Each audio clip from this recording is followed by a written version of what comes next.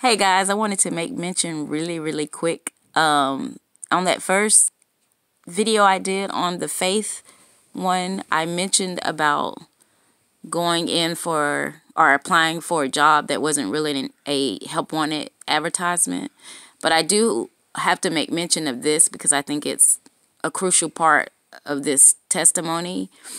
When I went in on an advertisement that I thought was for help wanted, well, when I went in there and interviewed with the guy, he did tell me that they just got notice that day of one of their employers, employees, yes, sorry, one of their employees that was going to be leaving.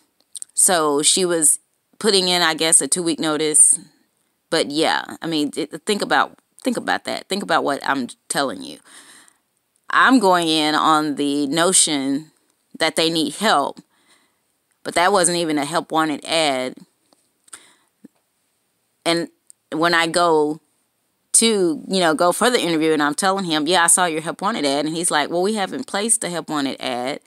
However, we did get notice today that one of our employees is leaving. I just want to start shouting right there. You just got to know how God strategically puts things in their place. So when we act out on obedience, it's like the wheels, things are working. Things are working behind the scenes for us. All we have to do is step out on crazy faith. All we have to do is step out in obedience, and we can get what God has for us. We don't get it because we don't step out, because we have fear that's stopping us from moving forward. Uh, I'm going to stop right now because if I stay on it, I'm going to start. Uh, yeah. anyway, I just had to share that with you. You guys be blessed.